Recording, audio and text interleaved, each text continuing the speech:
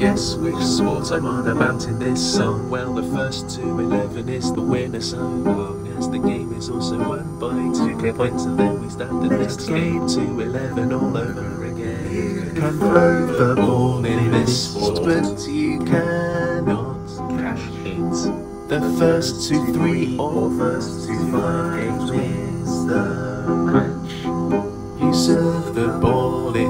your side, and then their side of the table so long and about so wide. A serve that hits the net on its way over is a let.